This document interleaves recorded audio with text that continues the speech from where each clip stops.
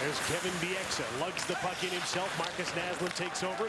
Mason Raymond missed the puck. Could be a two-on-one. Now it's a breakaway. Brad Richards alone. Dekes scores!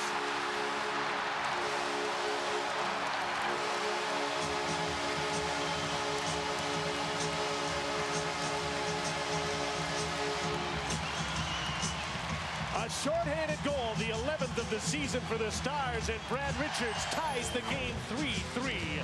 Again, special teams so important. Alex Edler makes the gamble and just a wonderful move by Richard.